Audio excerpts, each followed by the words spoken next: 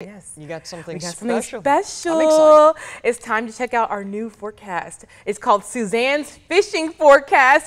I'm so excited. Woohoo! This is great. Yes, and so this is going to show you your peak times on when to actually take it. So Throw let's a check line it out. out there. Good stuff. Look at Suzanne in this picture of her with her fish. Suzanne, what fish is this? This is a bass. Oh, yeah. nice. Yeah, a little bass. Yes. Yeah, good eating.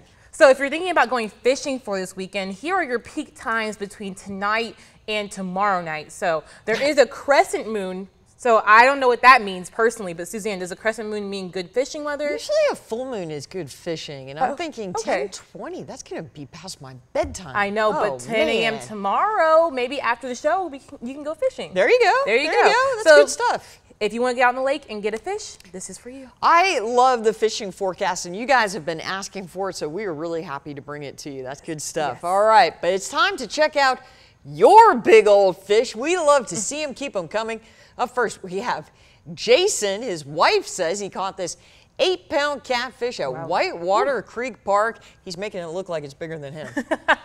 Six-year-old Kennedy caught a bass on the Flint River in Crawford County. Good for you. James Jackson Sr. from Fort Valley has a smile on his face as he poses with his catch. It's kind of hard for me to see that. Might be a bass or a catfish. Good job there.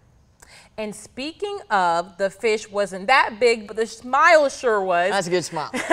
That's Caden Holtz of Warner Robins with his catch at the Ocmulgee Public Fishing Area. Yeah, I've wanted to check out the Ocmulgee public fishing area. So Caden's got a good, good line out there. I'm going to go out there. Keep sending us photos of your big old fish. We are going to be doing the fishing forecast and your big old fish pictures. You can text those pictures to us 478 752 1309. Be sure to tell us a little bit about what you caught. We will be right back.